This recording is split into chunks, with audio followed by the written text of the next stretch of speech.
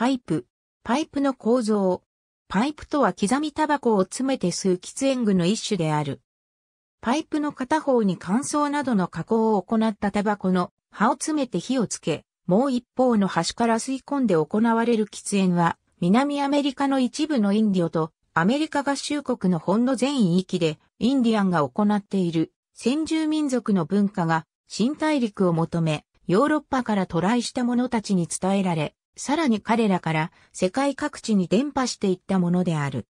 ただ後に工業化と大量生産手法の確立によって、喫煙の主要な方法は、その簡便さから紙巻きタバコに切り替わっていった。その結果、アメリカインディアンのパイプによる喫煙は儀式のためのものとしてヨーロッパに渡り、独特のスタイルとして確立されたものは趣味性の高いものとしての性格がより強められている。花とパイプを持ったアステカの女性たちこの喫煙具の発掘物は紀元前にまで遡り、おそらく喫煙方法の発生した最初期から利用されていった方法で、メソアメリカ地域や、現在でいうアメリカ合衆国内のインディアンたちの喫煙方法が細長い筒状の喫煙具を使うものであった。1519年にエルナン・コルテスが接触したアステ家族がパイプによる喫煙を行っていたことが記録に残されている。アメリカ合衆国のインディアンはパイプに詰めるタバコの葉にキハゼの葉や、クマコケモモ、柳の樹皮、キニキニックという薬草などを混ぜて香りをつける。パイプはパイプバッグと呼ばれる特別な包みで大切に保管される。これらは現在も変わらない。モンタナ州のブラックフット族の白人を交えた和平のパイプの儀式風景インディアンたちのパイプは宗教道具としての意味が強く、あらゆる儀式には必ずパイプの回し飲みが行われ、また重要な事柄に取り掛かる前にも、必ず準備段階としてパイプが使われる。パイプと煙を使って天井の精霊と通信するためである。ことに、平原のインディアンが TP の中でパイプをくゆらせ、その煙が髪型へ立ち上る様子は宇宙と一体となる象徴性に満ちている。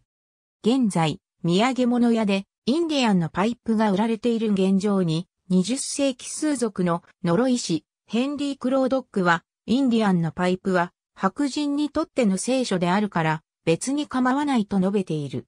インディアンのパイプインディアンがパイプを回し飲みして誓いを立てることは、キリスト教徒が聖書に宣誓することと同義である。シャイアン族は、カスター中佐がリトルビッグホーンの戦いで戦死したのは、その死の7年前に和平のパイプの儀式をカスターが拒否したための報いであると現在も言い伝えているほどである。アメリカインディアンの儀式のパイプは呼び名は部族によって違うが英語ではカルメットと呼ばれている。アメリカ議会図書館で展示されている数族の儀式のパイプ。火皿は外されている。アメリカ合衆国のインディアンのパイプの火皿は様々な石を掘って作られた。最も一般的なのは、ミネソタ州のパイプストーン特産のカトリナイトという赤い石を使って作られるものである。このカトリナイトは、数族が先祖の地が固まったものと言い伝える神聖なもので、その採掘権は現在、インディアンのみが占有する。カトリナイト製のインディアンのパイプの火皿コロラド州のユテ族は、サーモンアラバスター、ミシシッピ流域のクリーク族やチェロキー族は、ブルーストーンやクレーで火皿を作った。火皿を掘るのは伝統的に男性の仕事で動物やマサカリなど様々な形に彫刻され磨き上げられて使われた。パイプの柄は西洋トネリコや柳、箱柳の枝の芯の柔らかい部分を取り除いたもので作られた。また、パイプは和平の象徴ともされ、部族間のパスポートの役目を果たす。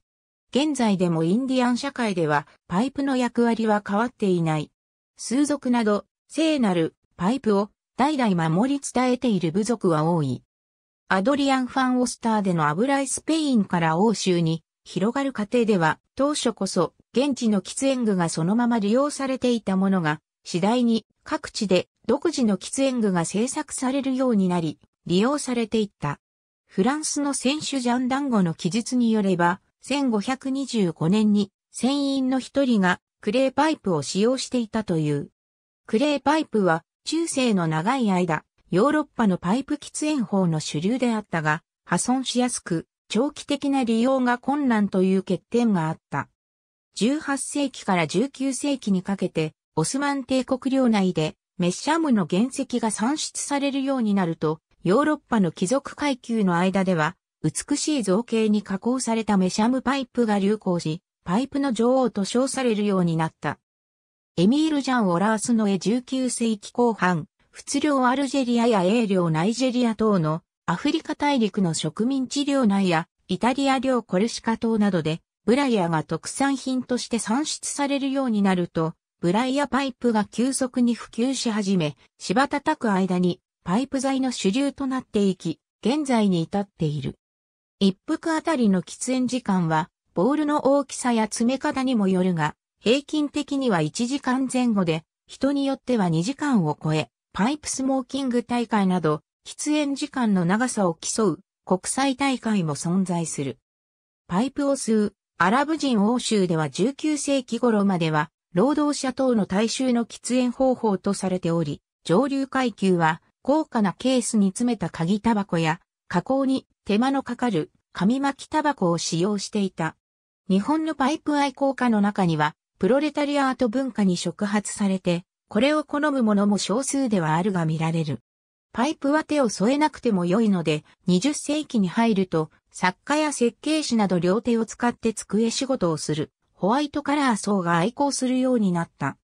1990年代以降のシガーブームに関連して、または近代ヨーロッパを扱う文学作品にもたびたび登場するなどその趣味性の高さから近年では再び愛好者層が増えている。2000年代よりこれらパイプ用の喫煙具を扱う通販サイトも増加傾向が見られる。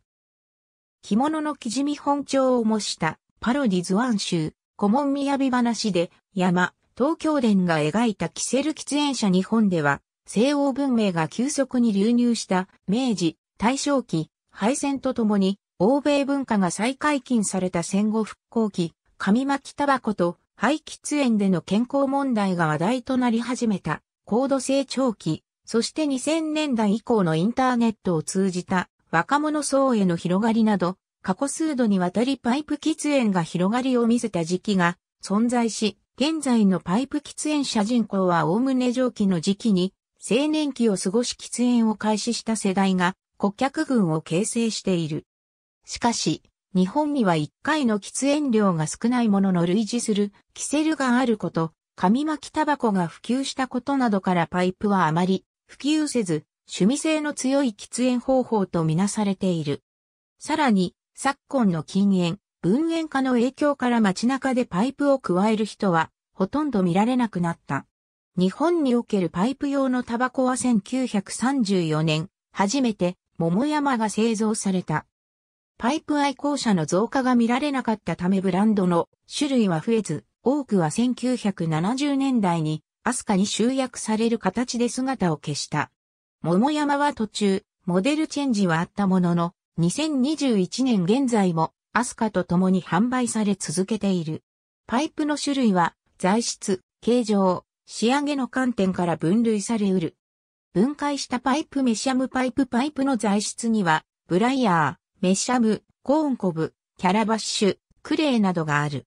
パイプの材質で、最も一般的なものは、ブライヤーであり、加工は難しいものの最もきつみに優れているとされる。ブライヤーのキメもパイプの個体を特徴づける大きな要素であり、グレインのパターンによって様々な名称が付けられている。縦方向に整ったマ目が出ているものは、ストレートグレインと呼ばれ、効果の値が付けられることが多い。横方向にマ目が出ているものは、クロスグレインと呼ばれる。ストレートグレインやクロスグレインを断ち切るように切ると断面に長目状のキメが出るが、これをバーズアイと呼ぶ。ボールの円周に沿って木目が走っているものはリンググレインと称される。ただしこれらは神秘的な要素であって、きつみの良し悪し自体には特に関係しないと考えられている。メッシャムはセピオライトとも呼ばれる物質で、加工が容易なため複雑な形状に彫刻が施されることが多い。また長期にわたって使用することで徐々に美しい飴色に変色していくことが特徴的である。マッカーサーが使用したことで有名な高温コブは安価だがきつみは優れており、丁寧に扱えば長く使用することができる優れた素材である。他にもあまり一般的ではないが、クレー、キャラバッシュ、モルタ、オリーブなどで作られたパイプも存在し、それぞれ異なる喫煙体験を提供する。第二次世界大戦前後には、国際流通網の麻痺によるブライヤーの世界的な不足により、風材や桜材、ヴィラン材やカシオシメなど、今日ではパイプ材として用いられない様々な木材が利用されていたこともある。ステムに用いられる素材はエボナイト、またはアクリルが一般的である。エボナイトは適度な硬さと柔らかさを兼ね備えているため歯当たりが良く、ヴィンテージのパイプや高級パイプに用いられていることが多い。一方で、紫外線や水滴により変色しやすい性質を持つため、光沢のある新品時の状態を維持することは難しい。アクリルは変色しないものの、エボナイトよりも加え心地が硬く感じられる。1909年、アラスカユーコン太平洋博覧会での軍事、競技大会にて、ローデシアンベント型のパイプを加えて、艦船に興じるアメリカ陸軍兵。パイプには様々な形状があり、クレー、ブライヤーパイプの発展とともに誕生して定着した形状はクラシックシェイプと呼ばれる。パイプの形状には様々な分類法があるが、第一に煙道が直線かカーブしているかで、ストレートとベントに大きく分けられる。一方、ボウルの形状からは、ビリヤード、アップル、ポット、ブルドッグ、ローデシアンといった分類がなされる。多くのパイプはこの沿道とボールの形状を複合したシェープ名を当てがわれる。また、デンマーク発のフリーハンドパイプの世界では、クラシックシェイプの常識を覆す自由な形状が次々と提案されてきている。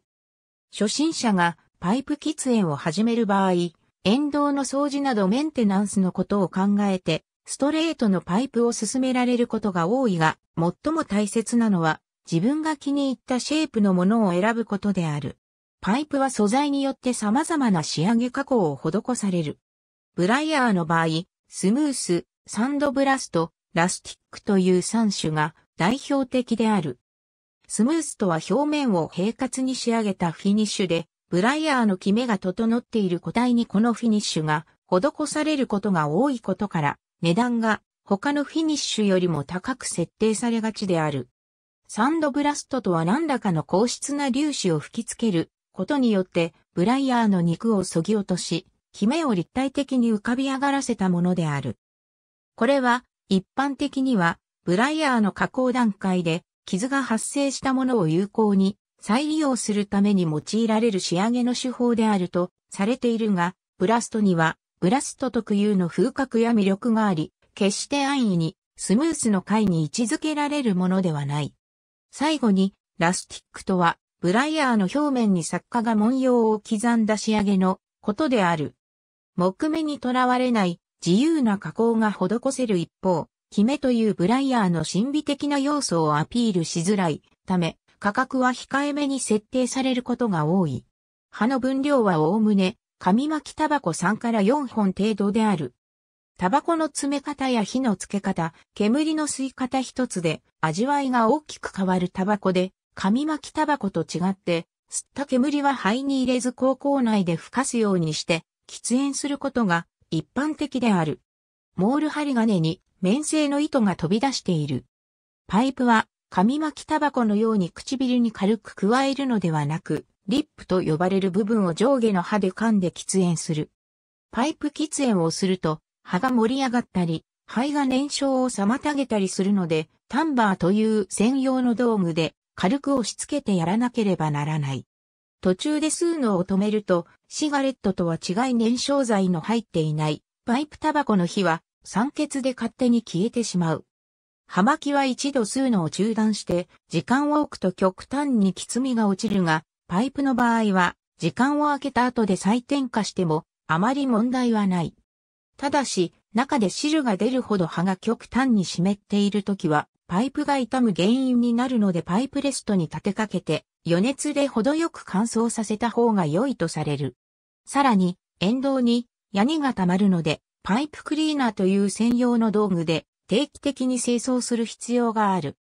また、吸い続けていると、カーボンと呼ばれる炭素の塊がチャンバー内部にこびりつくので、リーマーという専用の道具で適度に削ると長持ちする。分解したサビネリ社のアジャスタブルリーマ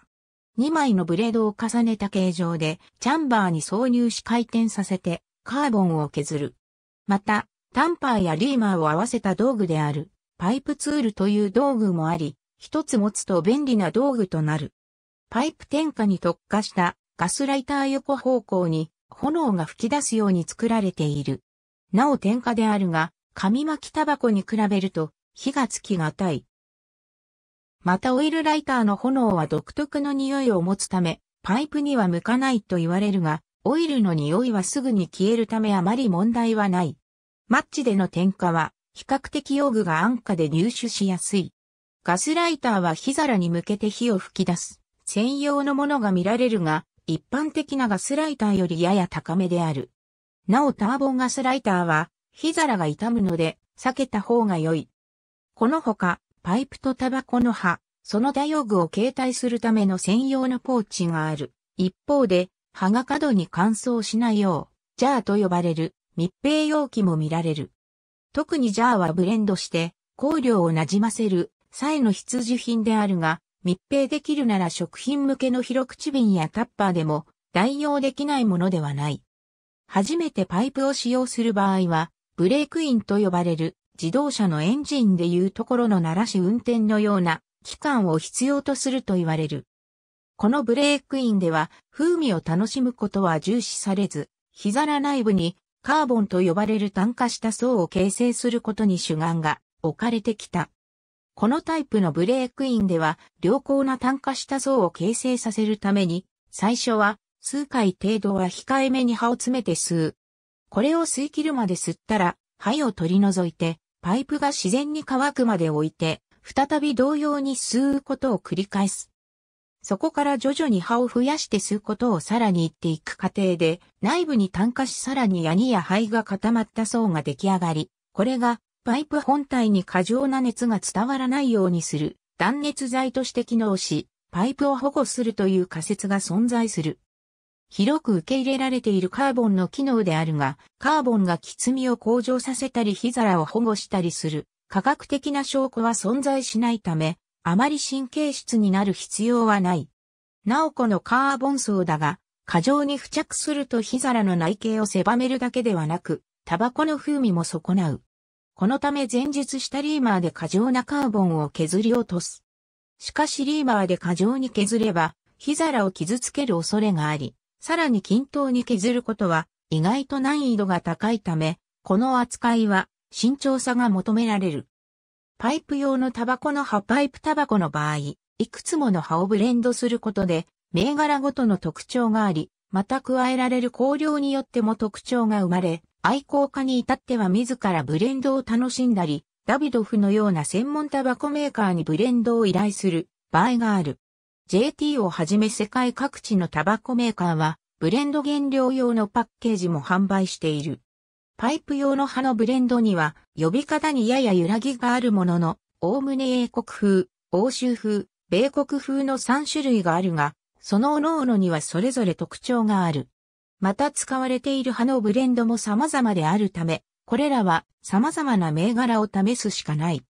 なお原産国が英国ないし米国だからといって、必ずしもブレンドがその通りとは限らず、例えば比較的どこでも販売されているキャプテンブラックは米国原産だが英国風のブレンドである。このパイプタバコの葉は種類によって異なるが、ややしっとりと湿っているものが種である。このためパイプ喫煙をしていると、ジュースと言われるタバコの中の水分や唾液がチャンバー下部に溜まることがあり、喫煙を非常に不愉快にさせる。銘柄によって、タバコ本来の葉の味から、お菓子のような甘い風味まで味わえるものまであり、その喫煙スタイルは、他の喫煙方法にはない非常に幅広い選択肢を持つ。はじめは道具を揃えるのに投資が必要となるが、良質なパイプ数本を揃えてローテーションさせることで、一本のパイプは数年から数十年は使える。また、紙巻きタバコと比べて吸い殻の少量化にもつながる。通常パイプタバコは複数の種類のタバコ用のブレンドである。主要な種類を以下に示す。日本での大量生産の喫煙パイプは、国外輸入品を含め各製作所が長年独占状態にあったが、近年ではパイプ作家が個性的な作品を発表している。なお宅製作所のブラヤパイプは安定した品質を保っており、国際的にもスタンダードパイプとしての地位を獲得、喫煙時間競技にも正式採用されているほか、生け花ブランドを標榜する職人による一点もの高級パイプも手掛けている。国産パイプメーカーとしては、宅製作所の他に、深白喫煙具製作所が量産する、ローランドブランドや、一点もの高級パイプのストムブランドを手掛けている。また、原木を少し加工したブライヤーを自ら加工して、自分オリジナルのパイプを作る愛好家もおり、日本国内でもそういったキットが販売されている。その他の有名なパイプメーカーとして、各国に以下のような様々なメーカーが存在する。なお、ピーターソンの製品は、口述する内部のジュース溜まりを防ぐ、ピーターソンシステムや、ピーターソンリップと呼ばれる、絶表面に濃厚な煙がとどまらず舌が痺れない、独特の構造を持つ。また全く違う方法だが、アメリカのカーステンも、ジュース溜まり対策をしたパイプを製作している。日本ではダグラス・マッカーサーが高温パイプを愛用していたことがよく知られており、日本の GHQ 統治下における彼の写真には特徴的な竹の高い高温パイプを加えた姿が数多く残されている。アルベルト・アインシュタイン、ヨシフ・スターリンもパイプの愛好家として知られている。また、チェゲバラは葉巻のイメージが一般的だが、私生活ではパイプを愛用していた。指揮者、オットー・クレンペラーはパイプを加えたまま寝てしまい火が燃え移り大やけどを負い、復帰に一年を要した。日本人では、作家の海光健、漫画家の藤子、海、藤尾、政治評論家の竹村健一、作曲家の段育馬等が著名なパイプスモーカーとして知られている。架空の人物としては、シャーロック・ホームズがキャラバッシュのベント型パイプを加えている図が有名だが、これはもともと舞台俳優のウィリアム・ジレットや英国放送協会制作のテレビドラマシリーズの影響によるもので、原作にはキャラバッシュパイプは登場しない。原作でのホームズは、統制のパイプ、ブライヤーパイプを愛用しつつ、紙巻きタバコも称賛しながら、おかわりするなど、別にパイプにこだわっているわけではない描写も登場する。なおジレットは、長丁場のセリフ回しの間、ベント型で軽いキャラバッシュが加え続けやすいとして選んだという。陶器製のパイプ、ホビットの冒険や指輪物語では、ホビットやガンダルフなど主要登場人物にパイプタバコを吹かす描写がしばしば登場しており、この中では陶器製パイプと思われる割れていなければなどとする表現も見られる。ちなみに物語ではたびたびこのパイプ喫煙が登場、ストーリーの伏線に用いられたりもしている。なお映画、ロード・オブ・ザ・リングでは、作中のパイプとして、陶器製パイプが描かれた。ありがとうございます。